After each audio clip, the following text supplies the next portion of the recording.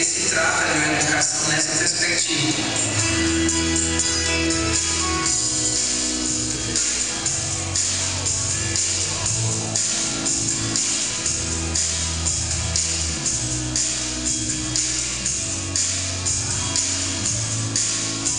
Hoje eu utilizo meus conhecimentos que eu tive no Tal Jovem na minha função de porteiro na empresa onde eu trabalho. Nós podemos ser muito ousados nesse processo, é, aplicando um conceito que foi criado exatamente pela luta dos trabalhadores, que é a formação técnica geral.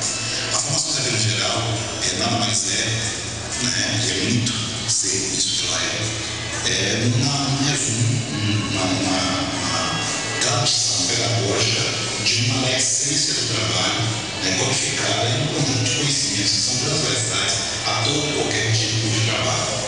É, nessa linha, é, FTG traz a ideia de uma formação que abrange tanto a questão dos conhecimentos técnicos quanto com os conhecimentos vinculados à sua cidadania e à sua inserção no mundo do trabalho. Outra inovação pedagógica fundamental é, se refere aos atos ocupacionais. É, sempre que se fala de formação do país, se verifica uma formação muito limitada, muito voltada para, apenas para uma ocupação ou parte de uma ocupação. Isso limita não só o contexto, o conteúdo a ser trabalhado com, os trabalhadores, quanto não, obriga a uma restrição, a pouca mobilidade em relação ao mercado de trabalho e ao mundo do trabalho. A perspectiva do arco ocupacionais tenta atacar simultaneamente dois problemas. Uma formação mais ampla, que permita o início de um itinerário formativo, e também uma possibilidade de que ele possa é, transitar sobre várias possibilidades do trabalho, seja assalariado, seja empreendedorismo ou economia solidária.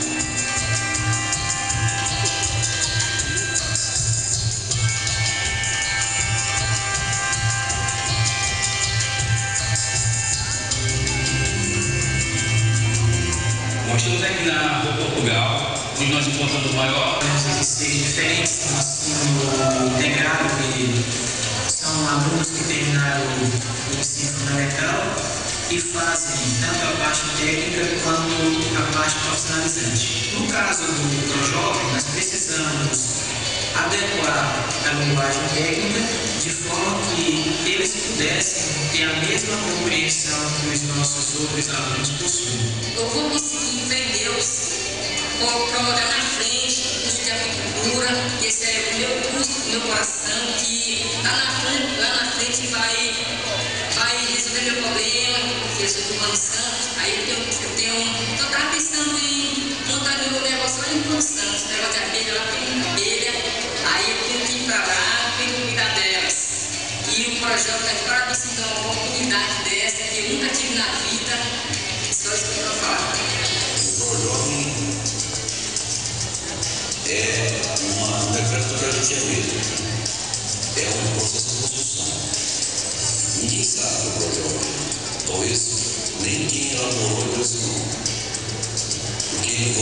pessoas que a gente pode dizer que é, o ProJovem, de certa forma, é a formação do Brasil nos próximos anos, nessa parte educativa. É importante que a universidade consiga, de alguma maneira, ter algum tipo de vínculo com a vida vivida e não só com a vida pensada. Então, eu não estou jogando confete na cabeça do todo novo jovem, mas eu estou dizendo que atividades deem um passo nessa direção, acho que deveriam ser atividades bem-vindas e atividades prioritárias dentro da universidade. E muitas vezes não são.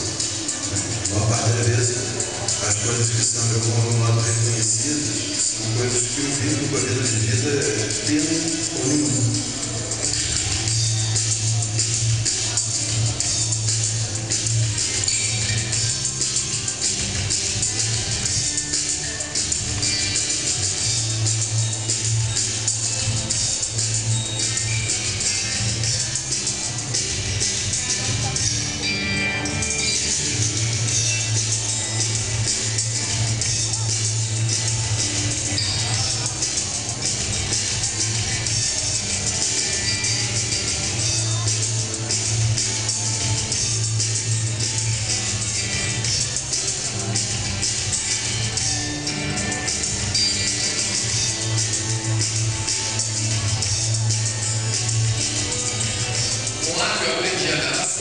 A quantidade exata de dar a vacina, a dose E a quantidade certa também da ração, né? Saber a quantidade certa por frango, quilogramas por frango.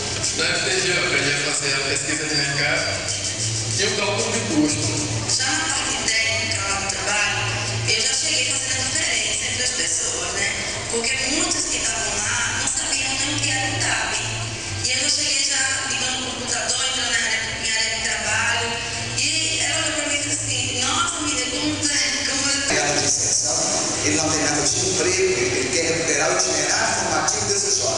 E vamos mudar para o futuro, o jovem urbano, que é uma modalidade do ProJovem integrado, em função das avaliações que nós temos desse ProJovem, nós vamos ampliar a faixa etária para 18 a 29 anos, nós vamos exigir apenas a conclusão do processo de alfabetização, não tem que ter mais a quarta série, e o jovem continua no projeto integrado, que é projeto vitorioso. Ele continua tendo a educação geral, o ensino fundamental, a profissional e a participação social cidadã.